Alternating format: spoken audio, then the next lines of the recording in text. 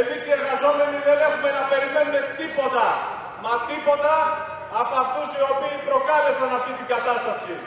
Τα συζητήσανε και εκεί στην Ευρωπαϊκή Ένωση και βγάλανε φρυμάνια. Επιδότηση των επιχειρηματιών και ο λαός για άλλη μια φορά στην πρέσα. Προωθήσανε την πράσινη ανάπτυξη, σπρώχνοντας πακτολό χρημάτων στις εταιρείες για να επενδύσουν. Και σήμερα έχουν απαξιώσει το εγχώριο καύσιμο, το λιγνίτη. Όλοι αυτοί οι οποίοι στο όνομα της πράσινης ανάπτυξης χρηματοδοτούν την εγκατάσταση των ΑΠΕ από τη μια μεριά και από την άλλη προωθούν την ηλεκτροπαραγωγή με το φυσικό εισαγόμενο αέριο. Τίποτα δεν έχουμε να περιμένουμε καλό από αυτούς. Η ελπίδα πραγματικά, η ελπίδα των εργαζομένων βρίσκεται στον αγώνα. Στον αγώνα για τη διεκδίκηση μέτρων ανακούφισης του λαϊκού εισοδήματος. Στον αγώνα για αυξήσεις στους μισθούς, για συλλογικές συμβάσεις εργασίας με αυξήσεις και εργασιακά δικαιώματα σύγχρονα που αρμόζουν στο 2022. Συνάδελφοι, συναδέλφισες, είναι ντροπή με αυτή την ανάπτυξη της τεχνολογίας, της τεχνογνωσίας που υπάρχει γύρω μας, ο λαός να καταδικάζεται στην ενεργειακή φτώχεια και να σκέφτεται πώς θα ζεσταθεί και φέτος. Σε αυτή την κατάσταση μας έχουν φέρει. Αντίθετα, πραγματικά με τον αγώνα μας πρέπει να λήξει ένας δρόμος ο οποίος θα ανακουφίσει το λαϊκό εισόδημα, θα ανακουφίσει τη λαϊκή οικογένεια.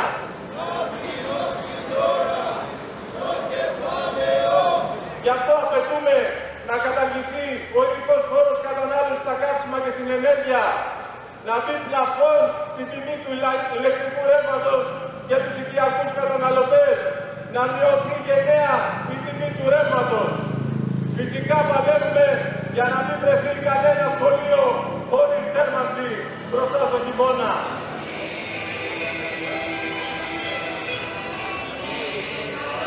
Το επόμενο βήμα για τα ταξικά συνδικάτα είναι να δοθεί μια ηθηρή απάντηση με την απεργία στις 9 Νοέμβρη. Μια απάντηση απέναντι στην εργοδοσία, απέναντι στα αφεντικά, απέναντι στο κράτος που τους στηρίζει. Γιατί πραγματικά ο δρόμος του οργανωμένου αγώνα μπορεί να βοηθήσει το λαό. Και φυσικά να ανοίξει το δρόμο για να ανατραπεί αυτό το βάρβαρο σύστημα το οποίο ζει από τις σάρκες μας. Συνάδελφοι, στις μέρες που μας απομένουν, με όλες μας τις δυνάμεις, καλούμε συναδέλφους, δίνουμε τον αγώνα για να έχει η απεργία στις 9 Νοέμβρη την Τετάρτη πραγματική επιτυχία. Να νεκρώσουν οι χώροι δουλειάς, να δοθεί το μήνυμα παντού και να είναι μια πετυχημένη μαζικότατη συγκέντρωσης στα προπήλαια. Και το δικό μας σωματείο μαζί με άλλα σωματεία είμαστε σήμερα έξω από τη ΔΕΗ ξανά και έξω από τους παρόχους ηλεκτρικής ενέργειας. Είμαστε σήμερα εδώ με απόφαση Γενικής Συνέλευσης του Σωματείου μας για να διατρανώσουμε για μια ακόμη φορά ότι αυτή η κατάσταση δεν μπορεί να πάει άλλο. Για να πούμε σε όλους τους τόνους ότι δεν ανεχόμαστε τον 21ο αιώνα να μην μπορούμε να πληρώσουμε το ρεύμα να ζούμε στο σκοτάδι, να στηβάζονται στα σπίτια μας απλήρωτοι λογαριασμοί, συνάδελφοι να μην μπορούν να τα βγάλουν πέρα, να μην έχουν να πληρώσουν το ρεύμα, το νίκη, άλλα βασικά είδη πρώτης ανάγκης.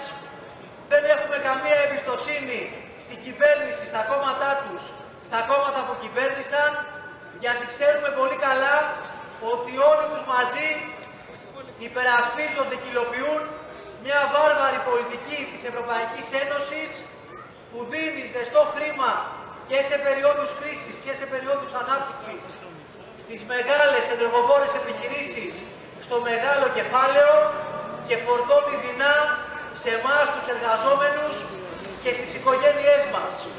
Και γιατί σήμερα θέλουμε να δώσουμε το μήνυμα του ξεσηκωμού της ανυπακοής γιατί έχει αποδειχθεί ότι εμείς ο λαός, οι εργαζόμενοι, μπορούμε πραγματικά, αν πιστέψουμε στη δύναμή μας, να γίνουμε ο πρωταγωνιστής των εξελίξεων, να ανατρέψουμε αυτή τη βάρβαρη κατάσταση. Τις λίγες μέρες που μένουν μέχρι τη μεγάλη πανελλαδική απεργία της 9ης Νοεμβρίου, κάνουμε τη νύχτα μέρα, οργανώνουμε την πάλη μας μέσα από τα σωματεία μας περάσει το μήνυμα της αντεπίθεσης, της ανυπακοής σε κάθε χώρο δουλειάς, να νεκρώσει η Αθήνα στις 9 Νοεμβρίου, κάθε χώρος δουλειάς να νεκρώσει, οι εργαζόμενοι να πούμε ότι συνδυόμαστε με την αδικία, δεν πάει άλλο. Ζούμε ακόμα μια μεγάλη κοροϊδία που έχει ξεκινήσει ήδη τις προηγούμενες μέρες και ολοκληρώνεται σήμερα με το καλάθι της νοικοκυράς. Ένα καλάθι της νοικοκυράς το οποίο δεν φτάνει ούτε για τα απαραίτητα, ούτε για να ζήσουμε. Είμαστε εδώ πέρα και για ακόμα μια φορά δυναμώνουμε τη φωνή μας με όλους τους εργαζόμενους και παλεύουμε για τα αυτονόητα αυτά που λέμε εμείς ως ταξικό κίνημα, ρεύμα φθηνό για όλο το λαό, να μπορέσουμε να ζούμε, να κάνουμε τις ανάγκες μας πραγματικότητα και δυναμώνουμε την πάλη μας ώστε να νεκρώσει η χώρα στις 9 του Νοέμβρη και μετά ξεκινάμε για οποιαδήποτε κλιμάκωση και ό,τι άλλο είναι. Και το ζήτημα της αλληλεγγύης σε συναδέλφους, σε οικογένειες άπορες, σε οικογένειες που δεν έχουν τη δυνατότητα να πληρώσουν αυτά τα υπέροχα ποσά, δίνουμε χέρι αλληλεγγύη. Τους καλούμε πρώτα και κύρια να εκφράσουν και αυτή τη δική τους αλληλεγγύη και συμπαράσταση με εγγραφή και συμμετοχή στα συνδικάτα μας. Να δώσουμε από κοινού τη μάχη και μπροστά στην απεργία στις 9 Νοέμβρη να γίνει παλαϊκός πανεργατικός ξεσηκωμός, να μην μείνει άνθρωπος που να πάει για δουλειά, να μην μείνει επαγγελματίας που να έχει ανοιχτό το μαγαζί του.